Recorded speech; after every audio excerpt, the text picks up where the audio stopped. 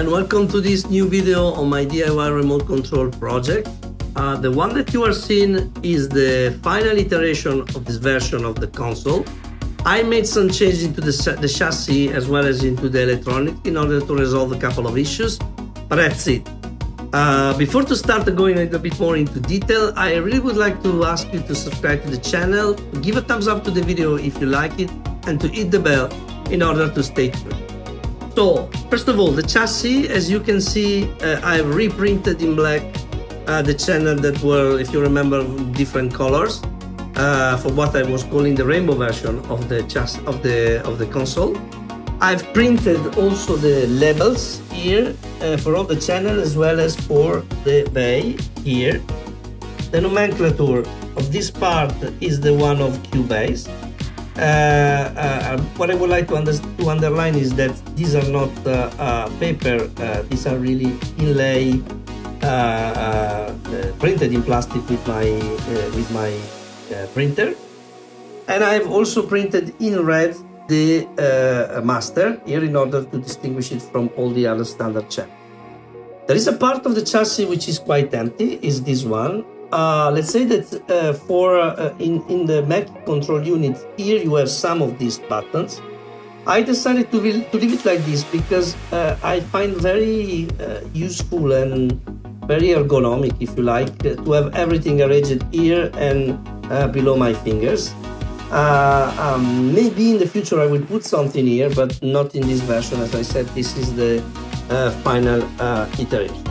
Another important uh, change that I've did is in the electronic. If you remember, I've encountered during the uh, testing session some uh, instability, which I was thinking was related to some issue of uh, overheat inside the bay, which was in fact uh, true, but it was not the only issue. Uh, there was also an issue of capacity of the voltage regulator, which were not uh, uh, capable enough. Uh, the one of the display, the 5 volt voltage regulator, was supposed by specification to supply until 2 amperes, and it was 1 ampere and a half. And I discovered that this was creating sometimes some some issue, okay? But even more, uh, the problem was uh, in the power regulator of the uh, uh of the uh, of the main bay here, uh, which was in fact Uh, uh, uh, an MAX providing 500 milliampere, so f of an ampere. I thought that it was enough, and in fact for the MCU probably that it was enough, but not enough when you have all the lights or uh, switch on here uh, these ones. There are there are some some part of the some moments of the work session in which you are using several service here. So you have several lights switching on here and all of this together was really bringing the consumption very next to the limit of the regulator and i have observed also some peak in some in some moment uh, so at the end i decided to change it and i put a new regulator which is capable of 1 ampere 3.3 volts 1 ampere while I was doing this work of uh, redesign, I decided to uh, redesign this part of the system from an electronics perspective. Uh, originally, all the power supply was embedded into the main uh, PCB that you see here. Uh, uh, but now I've decided to modularize it a bit and I've created a dedicated power supply PCB that you can see here. There you go. So here you can see what I was mentioning. Here you have the new 5 volt 2 ampere uh, power uh, regulator for uh, the uh, uh, voltage regulator, sorry, for the display. And here you have the 3.3 volt 1 ampere for the whole system. These are the connectors, the 9 volt connectors supplying all the channels. The very last one here is a 5 volt connector for the display which is powered by this regulator. This vertical one connect to the main board which stay on top uh, and is provided uh, uh 3.3 volt to the whole system.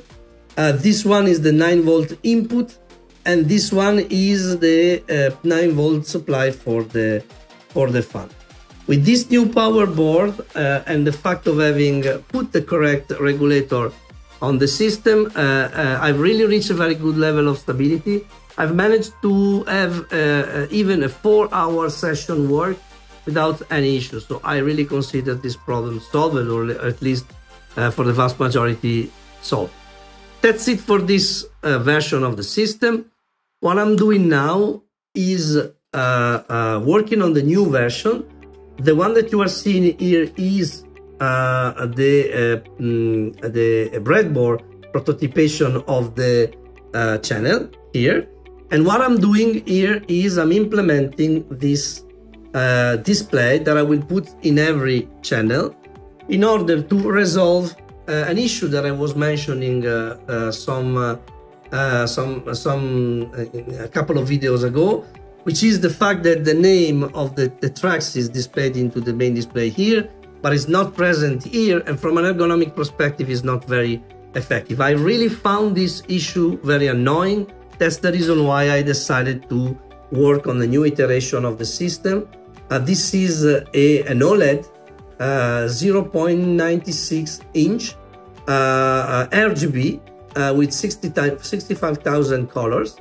and for a minimum, here I will try to display the name of the track. I will see if it's possible to do this. As you can understand, this change will require some work in order to re-prototype the thing. Uh, uh, will uh, require some money because it's a new iteration. So I will have to reproduce all the PCB. As usual, some will come uh, sorry, this will come with some of the component assembled and some not assembled. So I will have also to reassemble the, the missing component by hands.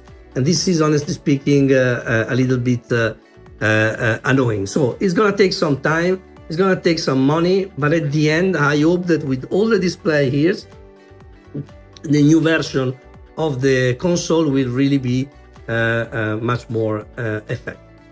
That's it. Thank you very much for watching this video. I'll see you in the next video in which I hope we will have the new version of the console. Cheers.